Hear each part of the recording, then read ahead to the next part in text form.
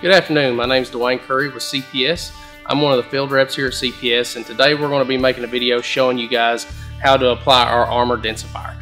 Uh, we have two different armor densifiers. We have the, D the Armor DSQ, which is actually a multi-silicate densifier that has a component in it that actually brings the solids closer to the top so that the densification actually happens closer to the top.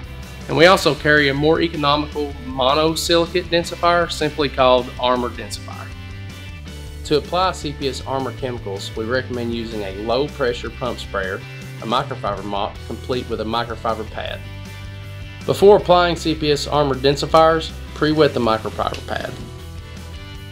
Concrete is a lot like a sponge and has many pores. When densifying, the chemical seeps down inside those pores and reacts with the concrete, crystallizing and making the concrete more dense. This reaction increases abrasion resistance and also seals up the concrete to help prevent dusting. Overall, densifying concrete dramatically helps with the grinding and polishing process. CPS Armor densifiers are simple and easy to use.